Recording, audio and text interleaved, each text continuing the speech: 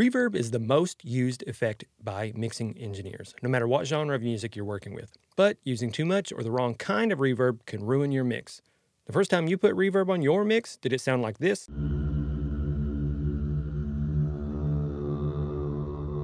Okay, maybe that was an exaggeration, but I wanted to make a video for new Pro Tools users to properly set up their reverb effects.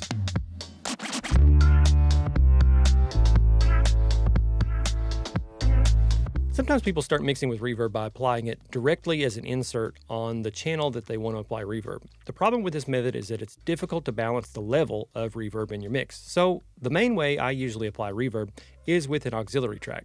To do that, we're going to need to send our signal out. In this case, I want to add reverb to my vocal track. We need to send it through a bus.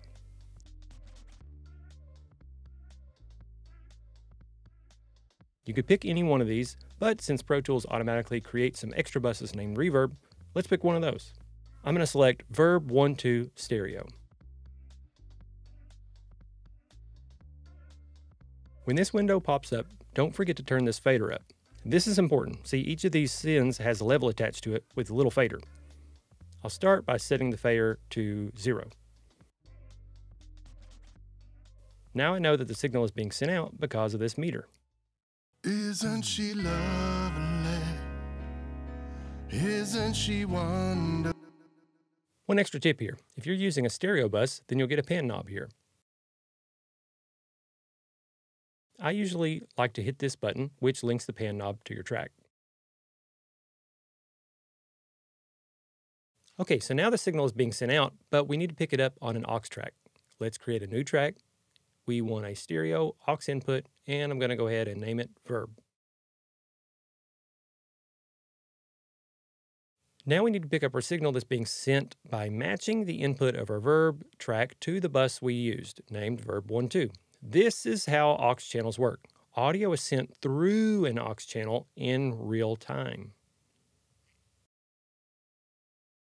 Now we can go up and add reverb as an insert. I'm going to use D-Verb because that's the basic decent sounding reverb plugin that comes standard on Pro Tools.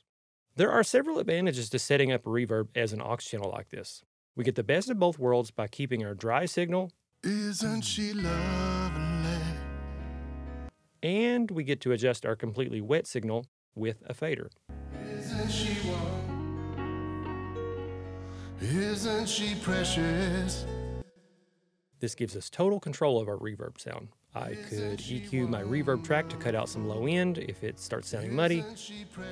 That's just one example. And last but not least, I could send other tracks to my reverb using the same bus. This works really well on acoustic music to create the sonic image that musicians are playing together live in the same space.